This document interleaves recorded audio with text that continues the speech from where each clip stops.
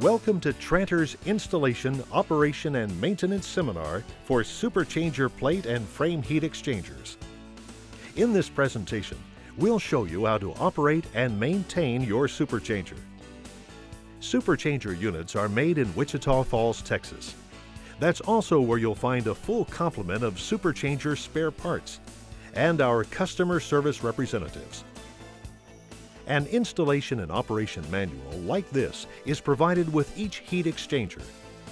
On the last page of the manual are our phone numbers, fax number, and our parts website identification. Contact us with any questions that are not answered in this video presentation.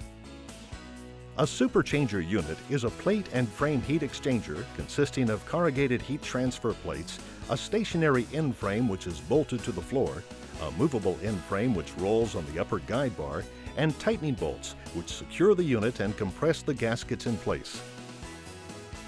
Superchanger plates range in size from less than 1 square foot to over 28 square feet. The size and arrangement of plates inside the heat exchanger depends on the duty to be performed.